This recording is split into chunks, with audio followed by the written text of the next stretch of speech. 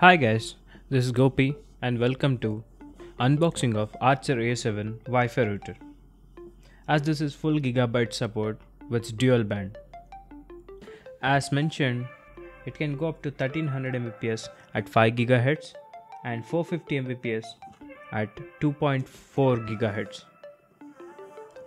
This is exclusively available on Amazon website at 3999 and on the box it has mentioned as 7999 and it comes with 3 year warranty where you can register with TP-Link website and this is different from the Archer C7 which is available in TP-Link website.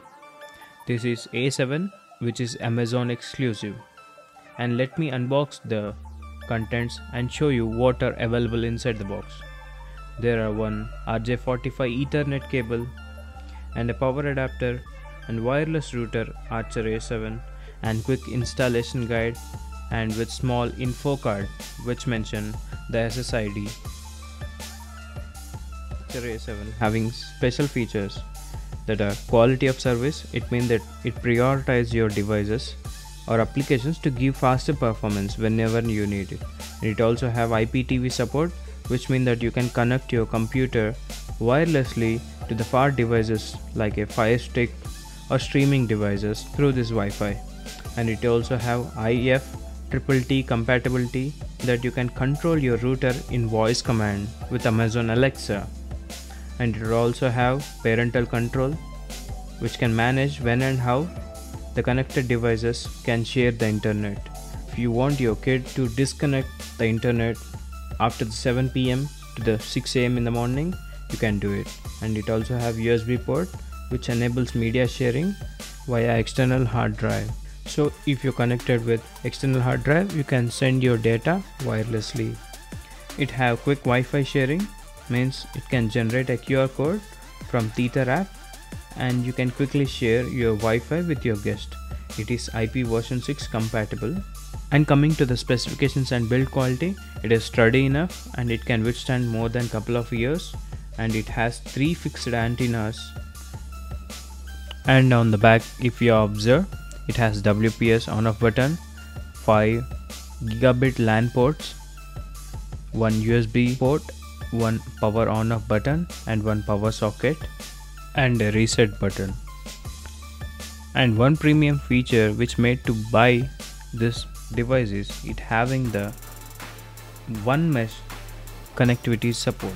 It means that you can have an range extender inside your home which is 2 BHK or 3 BHK. On the third bedroom you can have the range extender and you can have the same speed which the main Wi-Fi router produces and the same speed at the range extender. This is called mesh connectivity of the routers.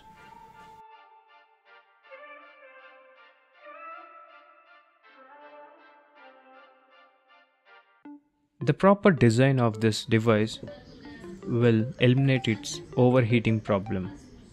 Now connect this RJ45 cable backside of your port and plug the power adapter into the Wi-Fi router by clicking a small power on off button on the backside of your router. Now the all lights will blink. The blue port, the internet cable should go inside that. RJ45 cable which were connected to the PC should go into the orange port. After that you can connect with your Wi-Fi by logging in this SSID and password or you can choose the other way open your browser and type 192.168.1.1 and follow the procedure which I was showing inside the video.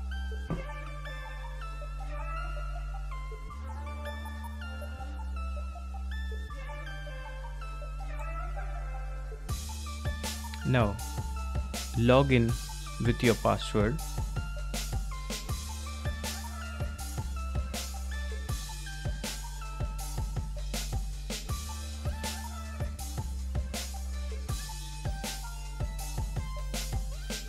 And after logging into the device just you have to press the next button and it will quickly set up your device only the thing is you can change your network name and password at the time of wireless settings.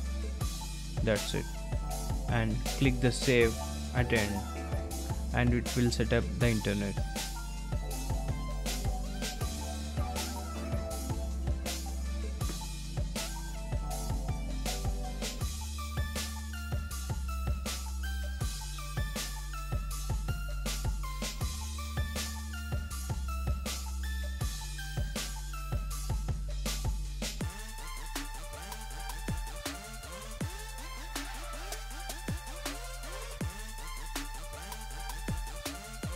and it will pop out this. Congratulations network setup has successfully enjoy the internet. And you can restore your device. And if you want to change your wireless settings you can go into basic settings option and then you can go into wireless and you can change your network name and password.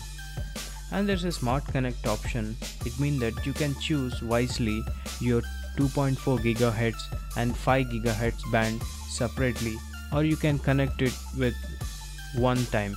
That means that if your device is compatible with 5 GHz band it will directly connect into 5 GHz or if your smartphone or iPad is only compatible with 2.4 GHz and it will shift into 2.4 GHz and I'll, I prefer Smart Connect. And on the advanced settings you can choose your guest network where you can allow your guest people to connect it and parental controls and check about the devices which I have explained before.